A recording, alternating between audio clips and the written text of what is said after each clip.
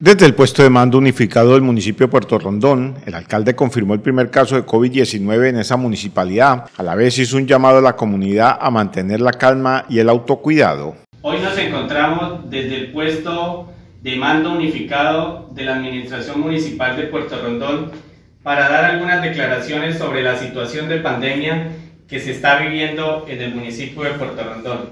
Es de resaltar que este es el único medio eh, oficial para brindar toda esta información acerca de la situación de COVID-19 en nuestro municipio.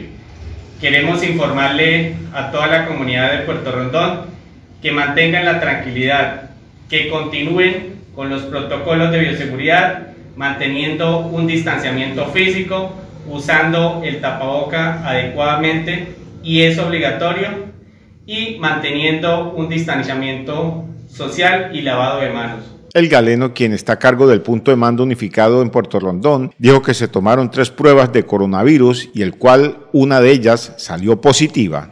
Desde el inicio de la emergencia sanitaria se ha, se ha eh, logrado establecer la toma de, de 62 muestras en nuestro municipio.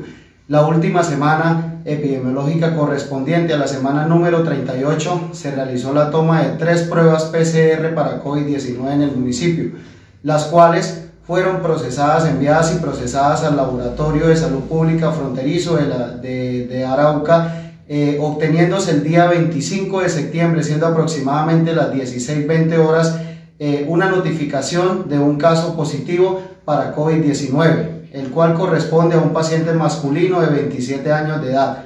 Asimismo, se estableció mediante el Plan de Acción Conjunto entre el Grupo de, Respuesta Inmediata eh, de Salud Pública, la Alcaldía Municipal, la UPGD, el Hospital San Juan de Dios, la determinación de la línea de tiempo epidemiológica, estableciéndose el hallazgo de este caso corresponde a un caso importado, dado esta razón por la cual el caso no es sumado a nuestro municipio de Puerto Rondón.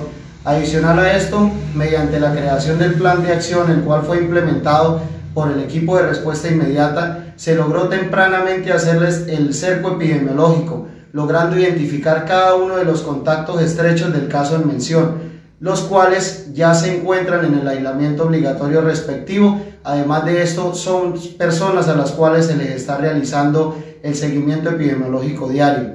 El día de hoy les informamos a la comunidad rondoneña serán realizadas las pruebas complementarias para cada uno de los contactos estrechos de este caso positivo.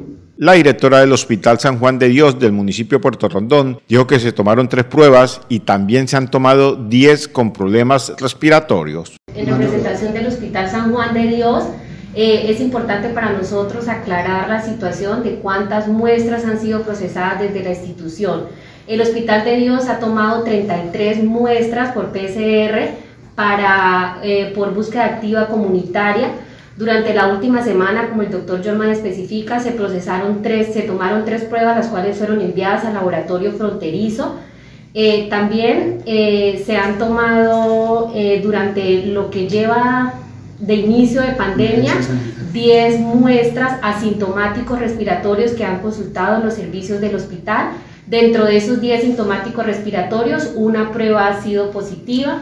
Entonces, pues es importante aclarar que hasta el momento esas son las muestras que se han tomado desde la institución y que únicamente ha habido un reporte positivo por parte del laboratorio fronterizo. El burgomaestre del municipio de Puerto Rondón le hizo un llamado a la comunidad para que sigan con las medidas de autocuidado para evitar el contagio del COVID-19.